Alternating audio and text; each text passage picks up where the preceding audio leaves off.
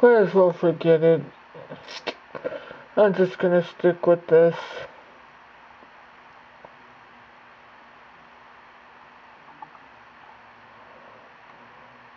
It's good for the computer.